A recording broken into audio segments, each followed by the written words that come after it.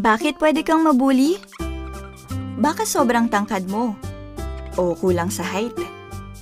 Pwede ring dahil sa iyong kulay. Timbang. Pinagmulan. Paraan ng pagsasalita. Pamilya. Kaibigan. O paniniwala. Anumang bagay na iniisip nilang kakaiba sa'yo. Pero hindi mo yon kasalanan. May mga batang binubuli saan man sa mundo araw-araw.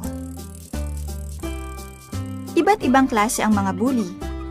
May nanunulak, nagnanakaw o naninira ng gamit.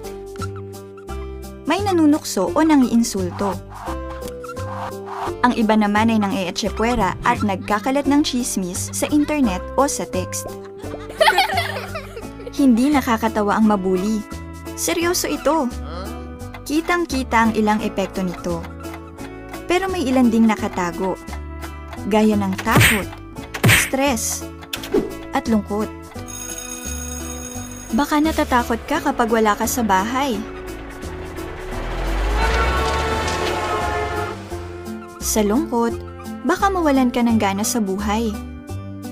Baka ayaw mo nang gawin ang mga paborito mong gawin noon. Apektado ng stress ang katawan mo. Baka masakit lagi ang tiyan mo at hindi ka makatulog. Pero kaya mong talunin ang bully. Oops! Huwag makikipag-away. May magandang payo ang Biblia.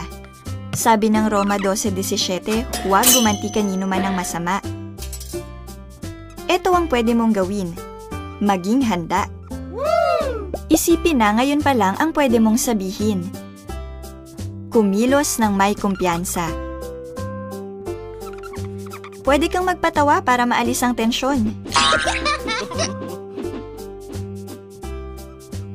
Mag-isip ng paraan para maprotektahan ang sarili mo. Sabi ng Kawikaan 22.3, matalino ang nakakakita ng kapahamakan at nagkukubli.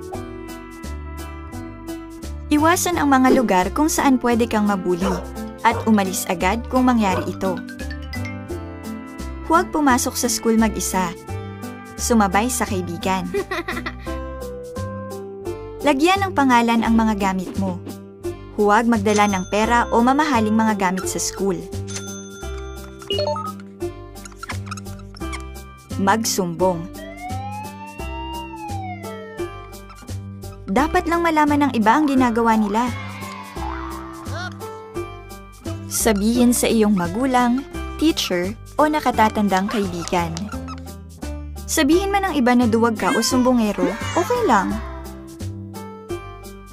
Hindi madali ang mga ito pero effective. Kaya mong talunin ang bully nang hindi nakikipag-away.